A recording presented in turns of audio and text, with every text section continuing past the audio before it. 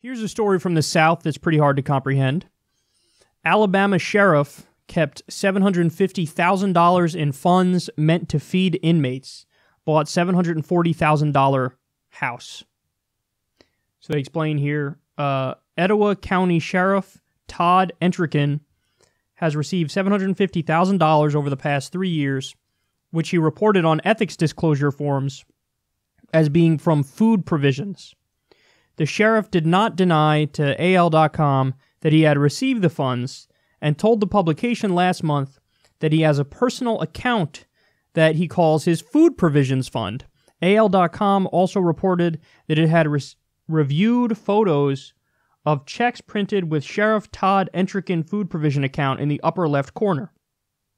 Sheriff sheriffs have stated that Alabama state law allows them to keep excess funds allocated for feeding inmates.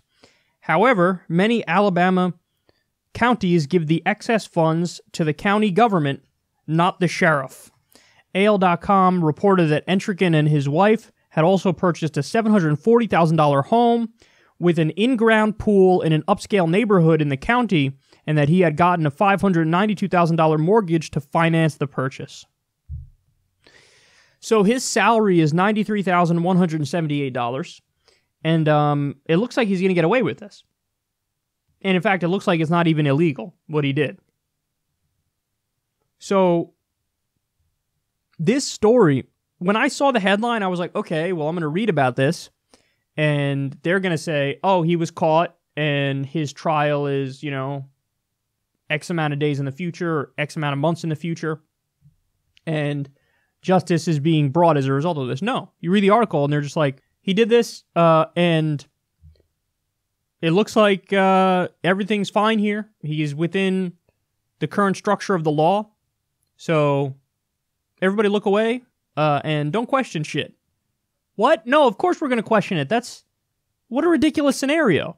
He's keeping money that's meant for food to feed the inmates, but oh, it was left over, so it's okay. Yeah, but we didn't. Our taxpayers really cool with just giving this guy that much money. He's already making ninety three thousand one hundred seventy eight dollars as a sheriff in Alabama, which probably puts him in the top 1% in Alabama, and he's going to be just take that much money, that should be redirected and reallocated in a different way to the taxpayers. So I don't like this is wild, but this is a reminder that in America, police actually steal more from people than burglars do. Now I know you're thinking, "Come on, Kyle, that's ridiculous." No, it's true. Uh, there were there was a study done. I think it was in 2014 that got us the numbers here, and in 2014, it was about what five billion dollars or so taking taken through what's called civil asset forfeiture, and that's more than burglars have taken took from people in that year. So civil asset forfeiture is basically legalized robbery by cop and that means like it they could take your shit and say, "Oh, I I thought you were on your way to do a drug deal." So, therefore, since you were on your way to do a drug deal, I'm going to seize your car. I'm going to seize the money that you have in your car, and it, now there's really no process in place for you to get it back. So, they just take your shit and then flip the burden of proof. And over $5 billion, or about $5 billion a year, they do that. So Again, legalized robbery by cop. That's what that is. But you never, ever, ever hear these issues talked about in that manner. Nobody talks about these issues like that, where they're like, oh, the system and the police, the people who are supposed to be the authorities, the law and order folks, they're stealing from you. They're stealing from you. They're the problem here. They're a bigger problem than actual burglars are. They're a bigger criminal than the criminals are. So, what a realization that is. Another wild fact, by the way, which is similar to this fact, is that wage theft outpaces theft theft. So, in other words, employers steal more from their workers uh, than pe- people who steal steal.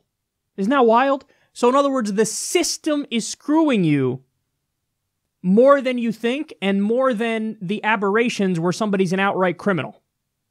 So that's just a lot to digest. I understand that.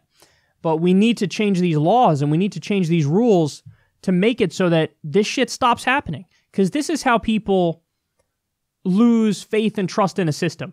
This is how, you know, this is how you sow the seeds of revolution.